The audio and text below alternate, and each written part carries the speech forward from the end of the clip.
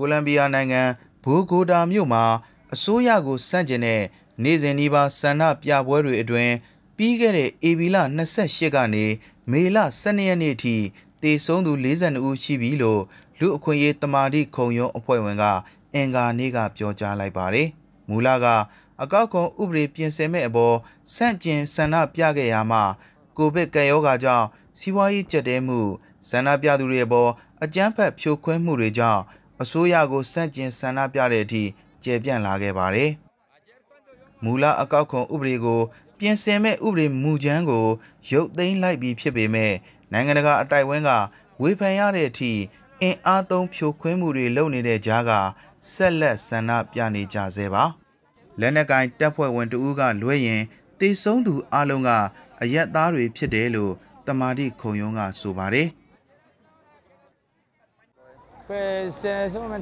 အစားတုံးကတော့ငြိမ်းချမ်းစွာခြိတက်ဆန္ဒပြခဲ့တာပါပြည်သူတွေအနေနဲ့အစည်းအဝေးတွေကျင်းပတာကြွေးကြော်သံတွေဟစ်ကြွေးတာအတနာခံတောင်းဆိုတာတွေပဲလုပ်ခဲ့တာပါနောက်တော့ရှေ့ဆက်တိုးပြီးခြိတက်ချိန်မှာ အပြောင်းလဲတွေဖြစ်သွားတယ်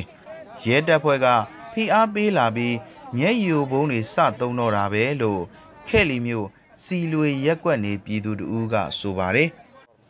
Bueno, el performance se llama ¿Quién lo ဒီသရုပ်ပြမှုကတော့သူတို့ကိုဘသူတတ်တာလဲဆိုတဲ့သရုပ်ပြမှုပါ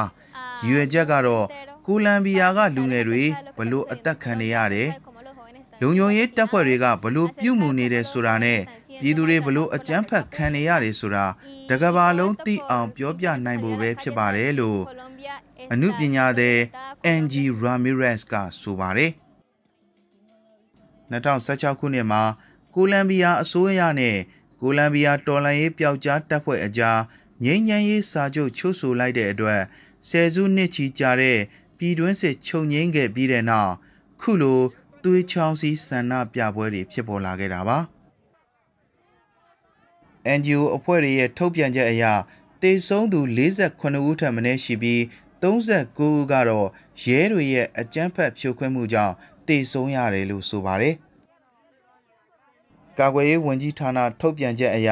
အထီးကရုံးအတွင်ရဲအရာရှိ849ဦးဒဏ်ရာရရှိခဲ့တဲ့အနက်12ဦးကတော့တနတ်မှန်ခဲ့တာပါမေလ3ရက်နေ့ထိထိကြိုက်ဒဏ်ရာရရှိတဲ့အရက်သား306ဦးထိရှိခဲ့ပေမဲ့မေလ12ရက်နေ့ထိနောက်တိုးစင်းကိုထုတ်ပြန်ခြင်းမရှိသေးပါဘူး။တမ္မတအိုင်ဗန်ဒူးကတော့လုံခြုံရေးတပ်ဖွဲ့ဝင်တွေဟာဖွဲ့စည်းပုံအခြေခံဥပဒေနဲ့အညီ လူစုခွဲခဲ့တာဖြစ်ပြီးချိုးဖောက်မှုတစုံတရာရှိမရှိစုံစမ်းစစ်ဆေးသွားမယ်လို့အင်ကာနေ့ကပြောကြားခဲ့ပါတယ်။ပြည်သူတွေရဲ့ဆန္ဒပြမှုအပေါ်အခုလိုအင်အားအလွန်ကျွံသုံးပြီးဖြိုခွင်းနေတာကို ကုလသမဂ္ဂဥရောပသမဂ္ဂနဲ့အမေရိကန်ပြည်ထောင်စုက